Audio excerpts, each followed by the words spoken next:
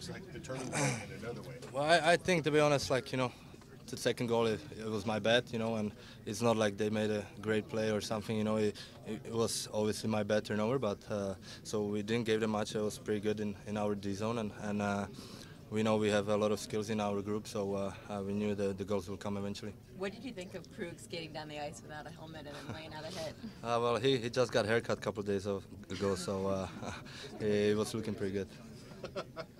David, do you know the song Old Town Road? And did you see Lil Nas X wearing the Bruins jersey? Yeah, it's obviously awesome uh, uh, to get the support, you know, by by the uh, people like that, and obviously uh, hype us up. Yeah. Is do you like this? Song? Did you know the song? Yeah, I love that song. into Yeah, it? I, I like that. A lot was made of the long layoff. Did it have a factor?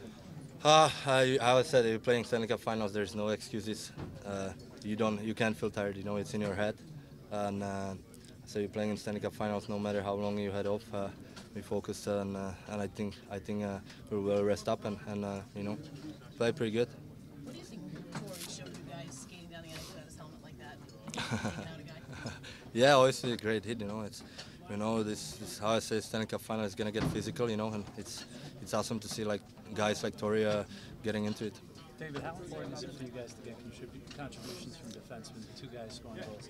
Yeah, unbelievable. Obviously, uh, uh, they, they got us going and, and uh, they, they break the puck well. And, and uh, anytime you get help from, excuse me, anytime you get help from uh, D uh, defensemen scoring goals, it's obviously a huge pickup for us offense, offensive lines. And, and uh, yeah, obviously huge. How Is, is that part of your game plan to get your defensemen in the offensive zone and get some shots? Uh, yeah, obviously, uh, uh, we got a great, great guys in, back there, you know, and, and a lot of skills. So, uh, uh, to be honest, uh, we all know it doesn't matter who's gonna score as long as somebody, right? And and uh, that's what happened tonight.